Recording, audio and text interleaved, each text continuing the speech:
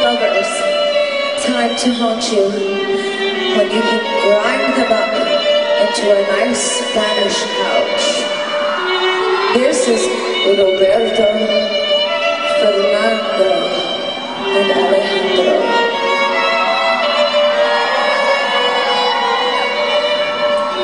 I know that's it.